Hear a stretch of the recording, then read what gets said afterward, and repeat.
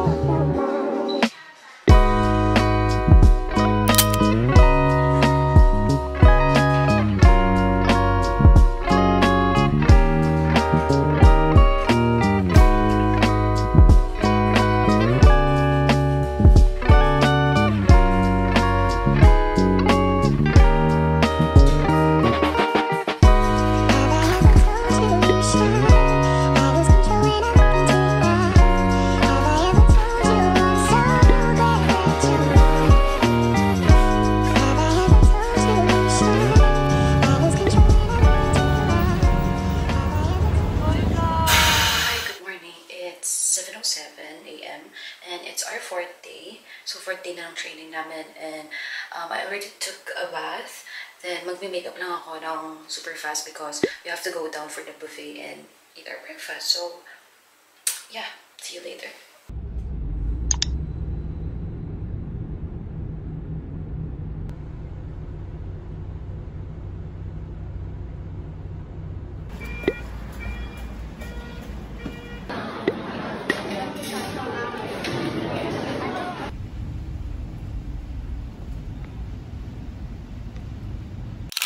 Just got back at our hotel. Papalit lang ako ng mabilis. Sorry, nasa restroom ako. No change outfit because we're gonna take some photos. But for tonight's agenda, we're going to the biggest Starbucks um, reserve here in Shanghai. So, yeah, I'm excited. And then after that, siguro like mag roam lang kami around the area, look for some shopping, ganon. So, yeah.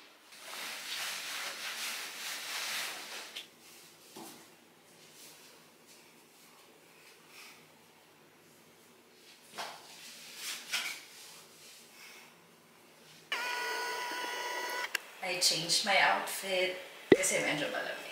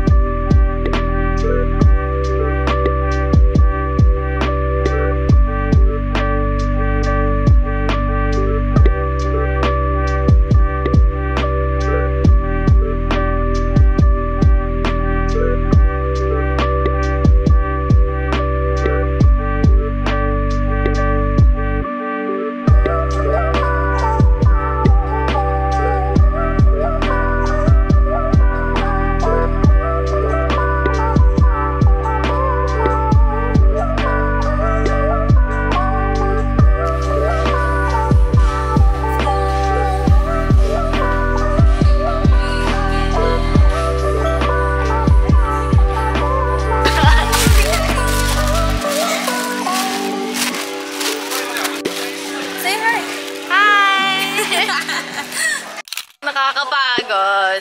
Okay, so we're here at this road. We're looking for a restaurant for us to eat our dinner. Pero nagkikrave kami ng milk tea, so maghanap kami ng milk tea.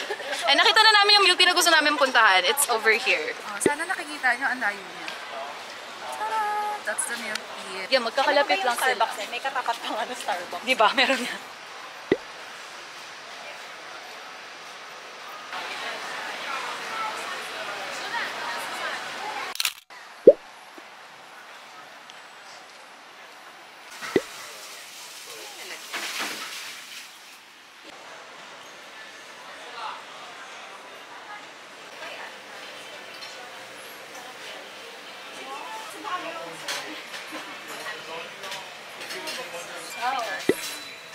Chopstick. Ay, eh, ako ba nagbayad? Ikaw nag...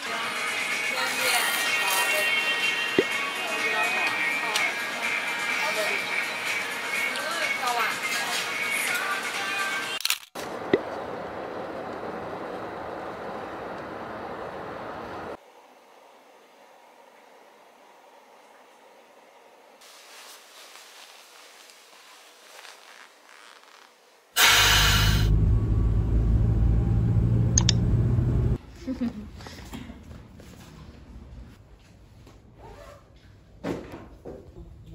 on. Okay, you're you're not gonna eat?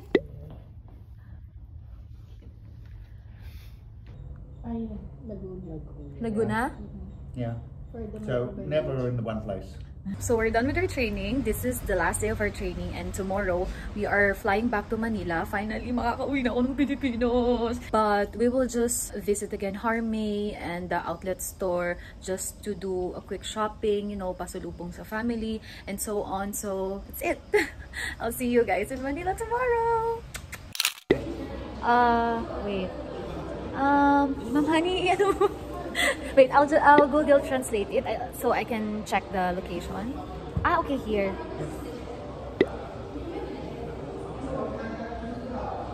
Yeah, Wukong Road. Okay. Shishi.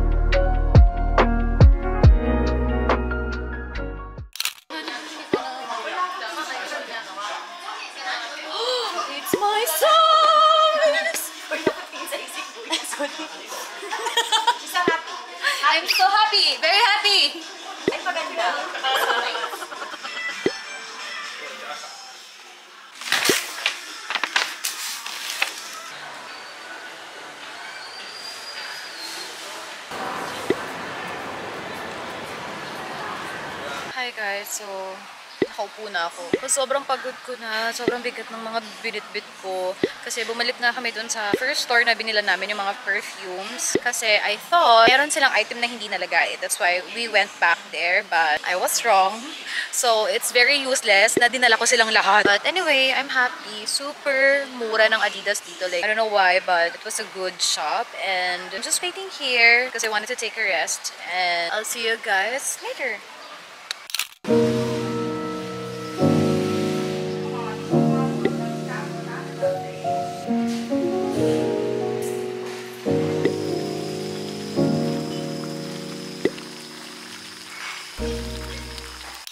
Itim mo pa lang sa kanya, samba, no?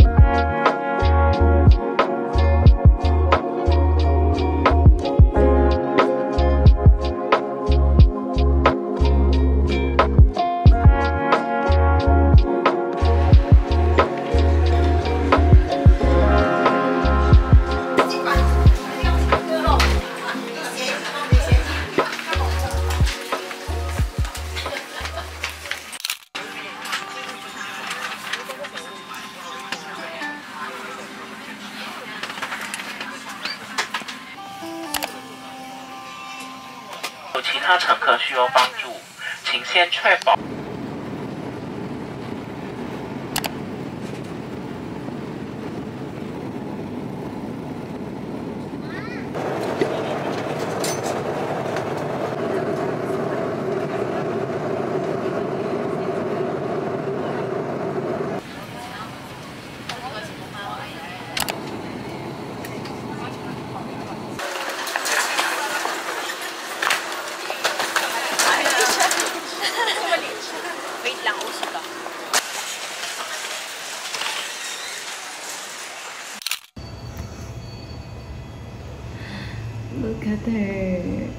Finally home. I'm back in Manila. But I'm waiting for my friend, si Marky, to help me bring my medium luggage with me upstairs. Because apparently you can see we only have the stairs. We don't have elevator here. So hindi ko kakayanin tong maleta na to. So then afterwards, I'm gonna take rest. And I'll see you guys on my next vlog. I hope you enjoy this one. Bye!